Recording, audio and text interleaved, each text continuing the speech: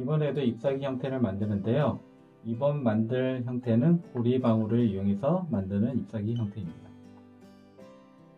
일육공을 절반을 접은 자리를 검지로 잡고 약지로 잡은 만큼 불어주면 됩니다.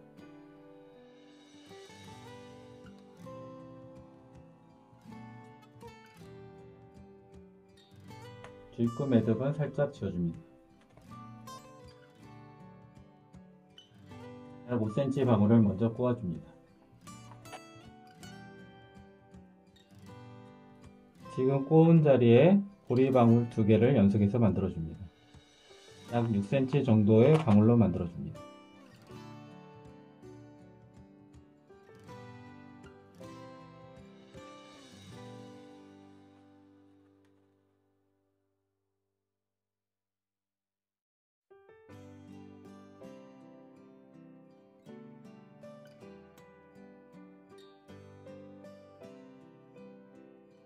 반복된 방법으로 만들어 주는데요.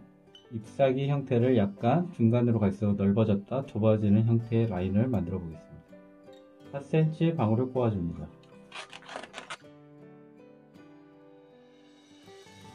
이어서 8cm 정도의 방울로 고리방울 두 개를 만들어 줍니다.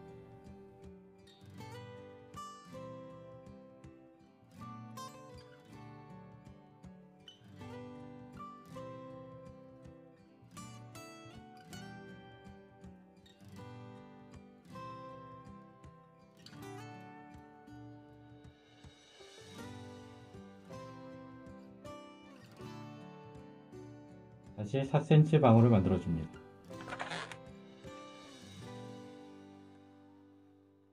이어서 10cm 방울에 고리 방울을 두 개 만들어 줍니다.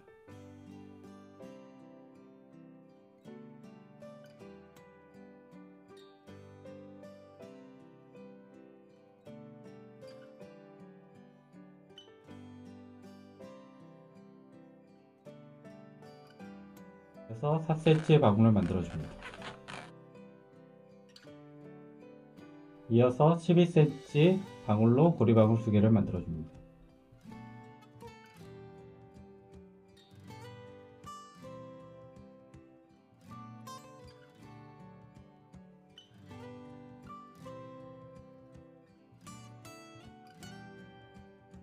잎사귀가 점점 넓어졌다가 지금 풍선 한 개로 만들 수 있는 최대치를 만들었고요. 이 상태에서 새로 불어서 연결을 합니다. 그리고 다시 좁혀지는 형태로 만들어 가면 됩니다.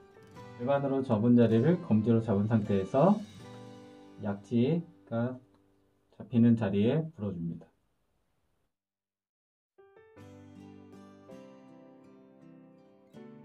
부러진 풍선은 바로 매듭지지 않고 지금 끝난 자리에 연결해서 매듭지어 정리하면 됩니다.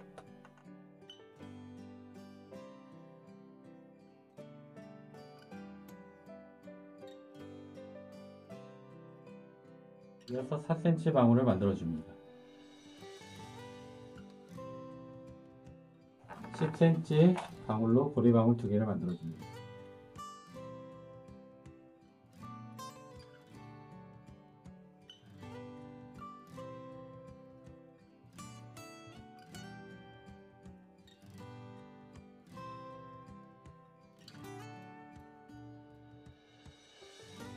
방법은 동일하고요. 다음은 8cm 고리방울을 만들어줍니다.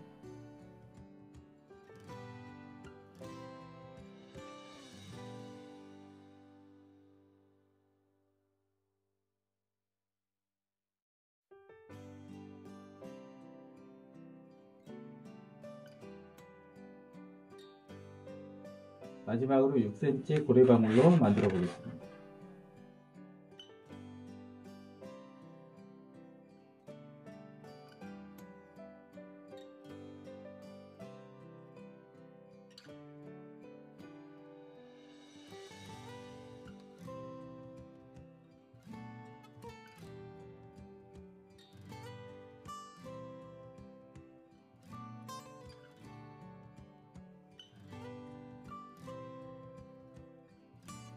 주입금 매듭은 바깥쪽으로 당겨서 가늘게 뾰족한 라인으로 마무리해 줍니다.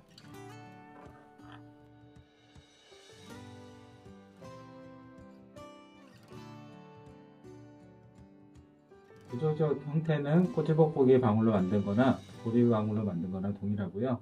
형태적인 모양에서 방울의 형태가 바뀌었습니다.